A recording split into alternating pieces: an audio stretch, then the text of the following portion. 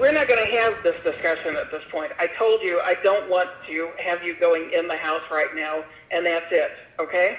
Welcome to another video in the Watch Me Make Offers live video series here on the channel, where you get to look over my shoulder and watch me make offers on distressed real estate properties. And this deal on today's video is an off-market tired landlord. Now, I do a lot of offers directly to private sellers, and every now and then, I can't get the seller to cooperate with me, and this is one of those sellers. So if you'd like to see how not to take no for an answer, this video is for you. Get ready to watch me make an offer to a difficult seller coming up.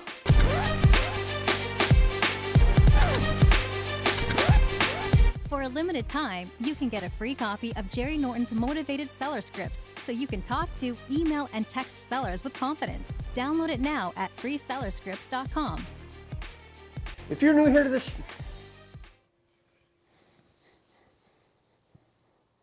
If you're new here, I'm Jerry Norton. I went from dead broke to millionaire flipping real estate, and after doing a thousand deals, I created this channel to help you master the art of wholesaling and flipping real estate so you can live your dream life. Be sure to subscribe and click the bell icon to get notified when new videos are released. Have you ever been intimidated to make offers when talking to sellers? Have you ever had a seller push back on your offer and you didn't know what to do? Have you ever been frozen about what to say or how to handle seller objections? And have you ever gotten frustrated trying to close with a difficult seller? If you have, welcome to the wonderful world of becoming a real estate investor. Not only is that normal, and not only does that happen often in this business, it's to be expected. No going into conversations that difficult sellers are common and not knowing how to handle that is normal. Accepting that reality is the first step to confronting the fear of rejection and the fear of not having the answers and the fear of looking stupid and the fear of not knowing what to do and the feeling of frustration. Once you accept that sellers are sometimes difficult and it's okay and that you don't have to have all the answers, it allows you to go through the experience, learn from it, make mistakes, try again, and get better. Do that enough times and it becomes second nature. But make no mistake, the only way to get better on the phones and talking to sellers is to just do it. Remember, every expert was once a beginner. Now, in a minute, we're gonna cut to a live call I had with a difficult seller. At one point, she even hung up on me. And I'm gonna break down my attempt to negotiate and close the deal. This was an off market lead from an absentee owner list, which means the seller doesn't live in the property. So we skip traced the phone number, and my cold call team called the seller to see if she was interested in selling her property, and she said she was interested. Now, at that point, the lead was passed to me to call and close the deal. And the notes from my cold caller said the property was currently tenant occupied and the seller no longer wanted to be a landlord. We refer to this as a tired landlord. So I called the seller to make a cash offer. Now, before we cut to the call, whenever talking to sellers, there are four primary objectives that I want to accomplish in order to properly make an offer. They are motivation or the seller's reason for selling, the time frame or how soon they want to sell, the condition of the property, and the price the seller wants. So as I break down this call, I'm gonna point out how I uncovered those four things. Initially, everything went normal. Take a listen. Hi Jane, this is Jerry Norton. Uh, you spoke to my team earlier today, I believe, about your property. Yes? Great, do you have a minute? I wanted to talk to you about that. Sure. Okay, I'm interested in making a cash offer on that property. I understand you're using it as a rental right now? Right. Okay. And tell me about that. So you've got a tenant in place. What's their lease arrangement right now? Uh, she's on a month to month, Okay. and she is going to be moving out because I basically would want to go ahead and get the house sold this spring. I see. So pretty standard. I verified she wanted to sell, and then I asked about the tenant, and the tenant is on a month-to-month lease and is planning on moving out. So that sounds great. Everything is going good so far. Then I asked why she is looking to sell. Now, the reason why I like to ask that question is to uncover the problem or the pain point. In other words, what's the motivation to sell the property at a discount to a cash buyer like me? Knowing that allows you to focus on a solution to the problem when making the offer. But when I asked Jane that question, she took offense. Take a listen to what she said and how I responded. And wh- why is it that you're wanting to sell right now? Why, why does everybody ask that question? I just don't want to have a bunch of houses anymore. I'm, I'm tired of being a landlord. I'm getting ready to retire, and I want to sell. Why does it make a difference to you why I want to sell? Because it helps me understand if there's something else going on that I should know about. Like- you can make a lower offer. Okay, got it. Uh, the roof is caving in, the basement's leaking, the tenant No, hasn't paid in nine months. that. None of Well, that's that's why somebody would ask you that question. So that's all. Just what is there something going on, and that's the reason why you're selling, or is it just because you don't want to you don't want it anymore? I don't really care. I'm just trying to understand why you're why we're No, talking. it's because I I do not want to be in the landlord business anymore. Okay. I work I work full time. I'm old, um, but I still work full time, and I'm sick and tired of managing houses too. So she did not like that question and insinuated that I was asking that to somehow take advantage of her situation and offer a lower price. Now, that told me I wasn't the first cash buyer she's spoken to. Now, clearly, this woman has a wall up. She does not trust me. This is an opportunity for me to try and make her feel comfortable. Remember, people do business with people they like and trust. Now, I actually didn't handle that very well, and I was annoyed by her accusation. I immediately fired back at her that I asked that question to give her an opportunity to disclose any issues or problems going on. Now, it wasn't so much what I said, but how I said it. My tone and attitude was not very inviting, which did not help my cause at all, even though she backed down and ended up answering the question that she was just tired of landlording. So, in my defense, I realized that I came across a little abrasive, so I tried to rebound the situation by talking about how difficult it is to manage tenants. My hope was that we could relate on that topic and I could open the door to building trust. Take a listen. Gotcha. Well, I can I can understand that. That's uh, tenants aren't always fun thing to do, so that's totally get that. Well, it, it's not so much the well, it is the tenants because some some tenants just don't know how to deal with anything in the houses. Uh huh. Um, but that that's one of the issues. It's the you know oh you know I I screwed up and I left the tub running too long and now it's leaking someplace and you know stuff like that. Yeah. Oh, I flushed tampons down the toilet. You're not supposed to do that. Oh. Or, Gotcha. Or the or the young women who, for some reason, keep dropping the little rings that come off when they open a jug of milk and getting it caught in the garbage oh, disposal. Oh yeah. But they're but they're too delicate to put their hands down there to get it out. yeah. Oh yeah. they want the handyman to come out and do that. And the handyman in that case is me. And Right. it's like, yeah, it's fine for me to stick my hand down there, but you can't do it. So, not a bad recovery. We complained together about tenants. This is a sales technique known as matching and mirroring. By agreeing with her that it's hard to manage tenants, we relate on a certain level and that builds trust. Now, next, I moved right along to find out about the condition of the property. Since I haven't seen this property, I need to get an idea of what the issues are. Take a listen. Right. Do you have other properties you're looking to sell as well, or just this one? Um, I, I don't have any more Okay. in uh, Michigan. We this is the last one, Okay. other than our the house we live in. I see. Well, I do a lot of properties in the area. Uh, Like I said, I am cash and can can buy it as is. I'd probably want to take a look at that lease agreement and just make sure I understand that. But if it's month to month and they're and they're planning on Yeah. leaving, that might work out great anyway because you know we do a lot of flips too and and it's a four bedroom. Yes. So is that is there two up in the bungalow or how's the how's the floor plan?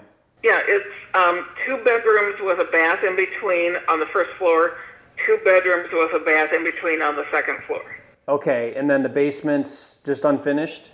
Yes, there is a really crummy bathroom in the basement. I have never bothered fixing it up. Okay. But all, I mean, it, it has a sink and a shower and stuff in it. Um, but, I mean, you'd have to be desperate to want to use it. But all the plumbing and everything's there, and you could easily fix that up to use that as well. Okay, and is the basement dry or wet, soggy? How's how's the basement? No, it's, it's dry. We haven't had any problems with that. I mean, like, what what would you say are the major issues with the house if you were to identify, you know, things that would need done? The kitchen countertops need to be replaced, um, as well as the floor.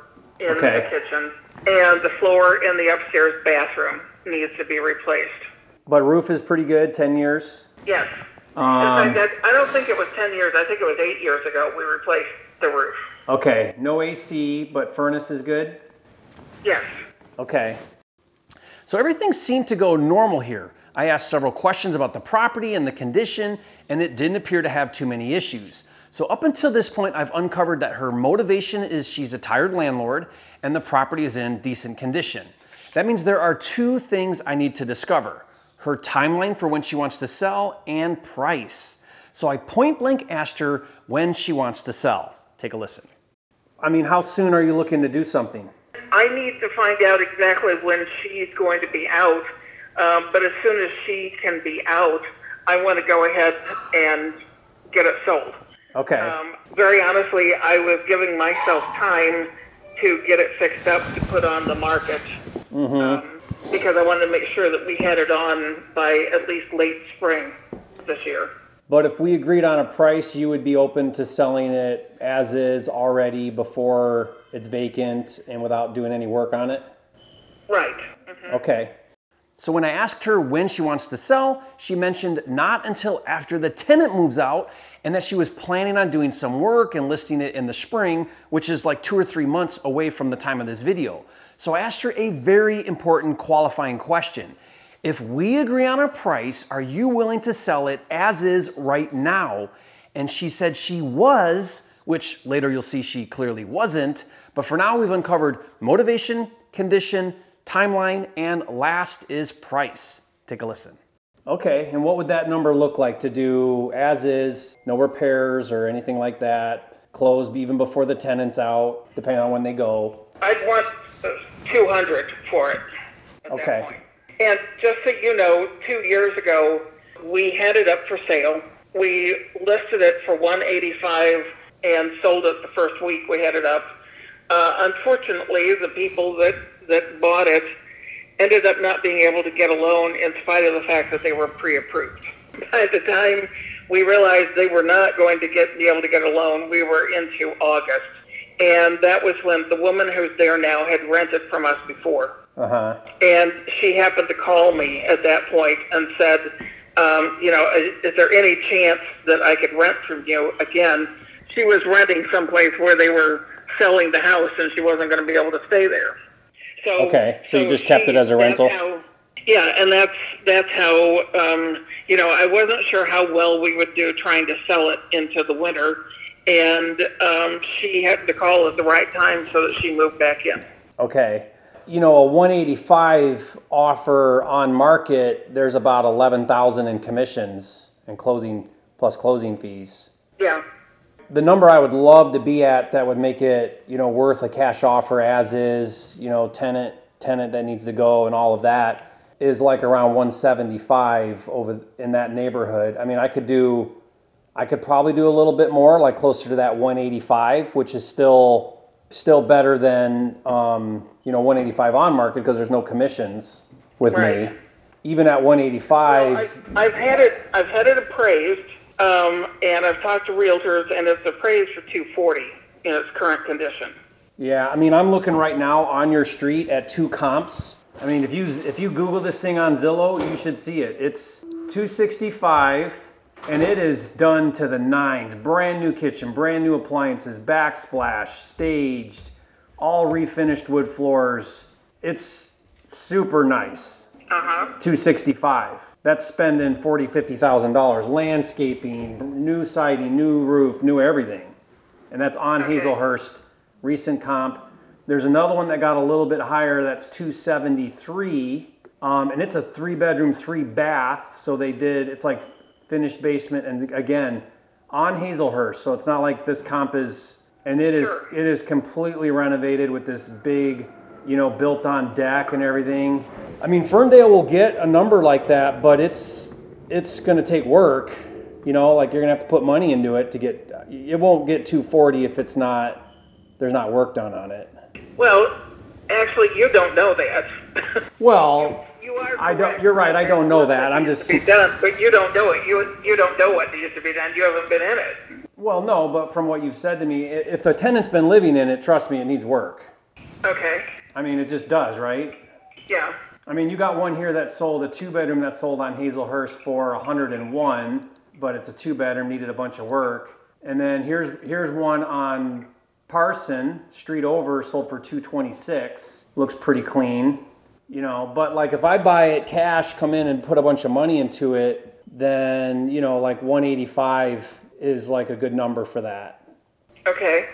I mean, but no commission. The, the thing of it is, is just ease of ease of the trans of the transaction, right? So no no commissions, no buyer's agent, no inspections, no appraisals, no buyer coming back saying I want you to fix this and that and this and that. It's just kind of like convenient and easy. So uh, would you buy it then with no inspections? I would just need a quick walkthrough just to make sure you know there's not a foundation issue or you know whatever the roof's falling off, something big. But yeah, I would waive inspection. I don't need an inspection. It's not like I I'm buying it as is, so I don't care that it needs flooring or whatever is wrong. That's fine. Okay. So yeah, Okay. I just would send my guy over there like today or whenever, as fast as we can, and then no, ins- and then waive inspection.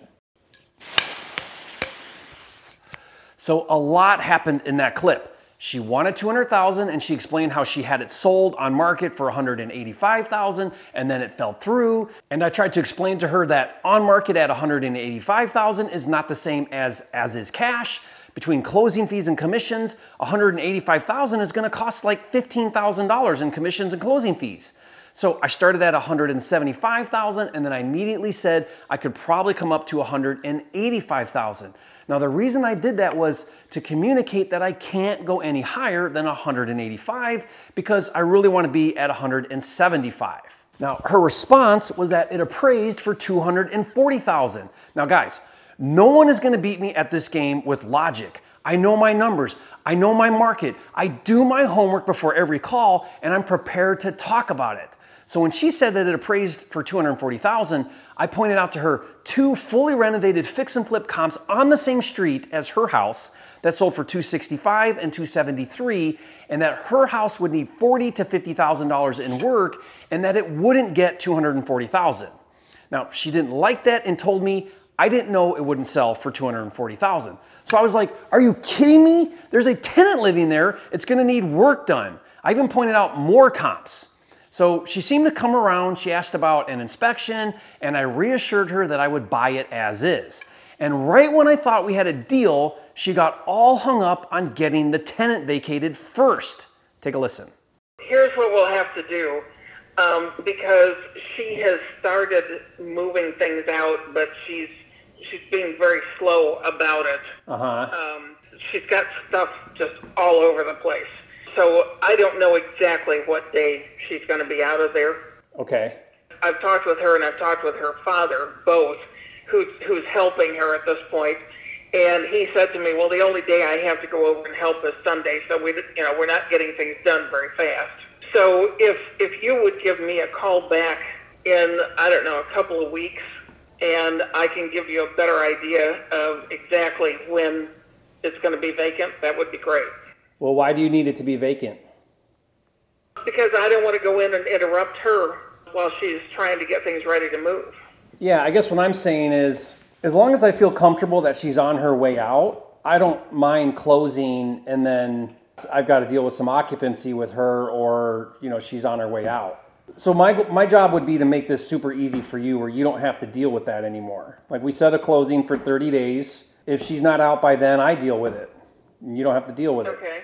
It's not your problem anymore, it's my problem. You know, I would love it if she was out, but let's just say she's not. I'm not going to make that be a hang up. I mean, I'll just reach out and say, hey, I mean, it would be helpful to say, hey, I've got a buyer, we're selling the house, we're closing on this date. Can you can you be out by then? And if she says yes, great, but let's say she's not, then I would have to deal with her. If part of what I want to try to make do for you is hey, I'm willing to deal, I'm, I'm willing to sell at a little bit of a discount to not have all the drama of vacating, cleaning it out, fixing some stuff, putting it on the market, showings, inspections, appraisals, buyers, agents, all of that. Sure. You know, you don't see money for 120 days or longer if you go that way versus let's just set a 30 day closing and be done with it. Uh, well, I would love to do that, but that it, it's just not going to work out to do that right at this point. So she explained that she wanted to wait until the tenant leaves, and she said to check back with her in a few weeks. Now, that is bad news for doing a deal. Time kills all deals. If we wait until the tenant leaves, she'll have more options, and she already thinks the property is worth 240,000. What I want to do is I want to take it right now and I'll deal with the tenant. And when I rewatch how I explain that, I thought I did a really good job of helping her see that she doesn't need to worry about the tenant anymore. I'll handle that. And her response was, that's not going to work out at this point. So this is where things took a turn for the worse. At this point, I've got nothing to lose. So I asked her, why not? And she didn't like that. Take a listen. It's just not going to work out to do that right at this point. Why? Um, I I have an agreement with her. I do not want to disturb her right at this point. She's got she's got a ton of stuff. She basically has been working out of the house, and she has collected a lot of furniture and everything that she's trying to deal with at this point. And um, I, I I just don't want to go in in the middle of all of this and try to deal with selling the house. Tell her not to worry about any of it. I'll trash it out. I trash out every day. What the?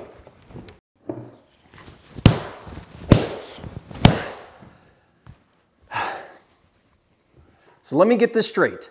The tenant is a hoarder. She's collected a ton of crap, and I'm offering to deal with it. I even offered to trash it out for the tenant. Just leave it all and I'll deal with it. Now, how am I not solving everybody's problem? The seller is tired of landlording. Great, I'll deal with the tenant. The tenant has junk they can't figure out how to get rid of. Great, I'll deal with it. How is this a bad plan? Then she hung up on me. So I called her back and assumed we got disconnected. Take a listen. Hello? Yeah, I think I got disconnected from you. Okay. We're not going to have this discussion at this point. I told you I don't want to have you going in the house right now, and that's it, okay? That's fine. If you're interested in talking with me down the road, that's Uh-huh. fine. We can do that. But I, I'm not going to get into more hassle and everything at this point. I'm just not going to do it. I guess you're not understanding how I'm making it hassle free, but that's if there's something going on that you that's unique between you and the tenant or whatever, that's that's totally fine. I'm just trying to tell you I can make this super easy for everybody. Like for example, just say, "Hey, I know you're really worried about all this crap you've collected. Don't worry about it. Just move out and leave whatever you don't want." No, that that's part of the issue. She wants to keep all of the stuff. Right. So And take what she- yeah, take what you want, whatever you don't want, leave. It's fine. Okay. Because hoarders don't hoarders have a hard time dealing with their stuff. Like if you leave it up to them, they'll never deal with it. They can't. I, I understand that. Um, I also have some things that are stored in a locked storage room there Uh-huh. that I need I need to get out of there, and so I'm trying to deal with getting her out, getting her stuff out. Then I can get my stuff out. Then we can talk. Okay, that so all of that's fine. We can put that in the contract. Like we we close when she leaves. We close when I get my stuff out of there, and all of that's. I mean, we we just put that in there. That's all. I mean, like why why wait and not put a deal together if we can put a deal together and just have those terms in the contract? Is I guess what I'm asking. Yeah, I, I tell you, I've, I've got a ton of other things going on right now that I'm needing to deal with, including a car that's at my car that's at a dealership where they're telling me I need to have a new transmission put in.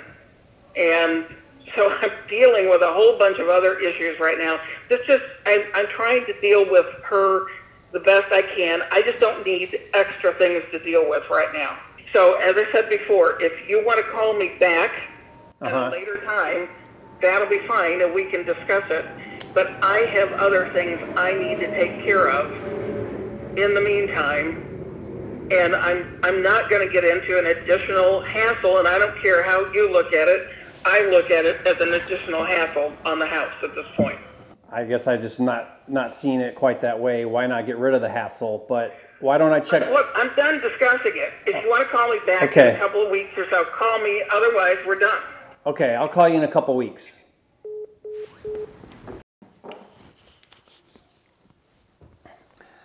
So, no matter what solution I offered, it just wasn't working for this seller. You know, I'm convinced some people just thrive on making their lives harder than it needs to be. They wouldn't know what to do if they didn't have problems all the time.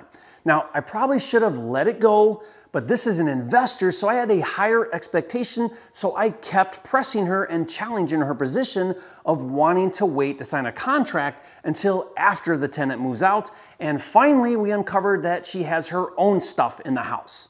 Now, all of this is easy to solve. We can put in the contract that we close when the tenant leaves, or we give the tenant time to leave, or I'll do the trash out, or I'll make sure that the seller gets her stuff out. I can easily solve all of these problems, but apparently she has got bigger problems like her transmission. Unbelievable. Clearly not a motivated seller. I don't think she's too fond of me, but we'll call her back in a few weeks and see what happens. Now, there are four big lessons I want to point out from this call. First is you're going to get difficult sellers. It's not going to make any sense, and that's okay. Sellers are people, and people are emotional, and emotions aren't always logical. Second, you have to be able to overcome objections. There is nothing a seller can throw at me that I don't have an answer for or can't solve. And the better you are at solving problems and the bigger problems you solve, the more money you make. Want to make more money? Solve more or bigger problems. The third lesson is to practice. The only way to get good talking to sellers is to practice. Never forget, imperfect action is better than perfect inaction. To help you get started, be sure to get my word for word seller scripts. I'll give them to you for free. Just go to freesellerscripts.com. And finally, the fourth lesson is to not lose your temper or get frustrated when the call doesn't go how you hoped. Stay calm, smile. If you're like me and you love to win, that can be hard sometimes, but your attitude comes across on the phone. Even though this call was not a win, if you still learned something, leave a comment and say, Jerry, you're still a flipping genius. Next, to really grasp this concept, I want you to watch another live call breakdown with a different difficult seller where I kept my cool. So watch that now, and if you haven't yet, be sure to subscribe to my channel with over 625 videos. This is the number one channel on YouTube for all things wholesaling and flipping, and I'll see you on the next video.